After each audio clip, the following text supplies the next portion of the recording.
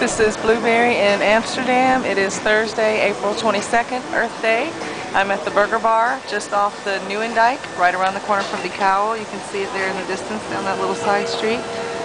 I ordered the burger as uh, which was uh, ravely reviewed on several of the forums. Um, it actually is very good. I've had it twice. I got the small Angus beef with cheddar and a small fry and a drink was like 10 euros. It is a bit pricey, but it is super good, so I definitely highly recommend it. So if you get a chance to come by here, check it out.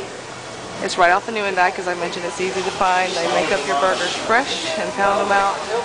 And uh, it's really, really, really good. Highly recommended. It's Angus beef, and they also have the Wagyu burger, which has also been raved about, but I haven't had that myself, personally.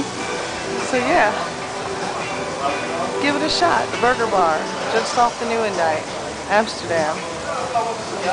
Blueberry, 2010, April 22nd.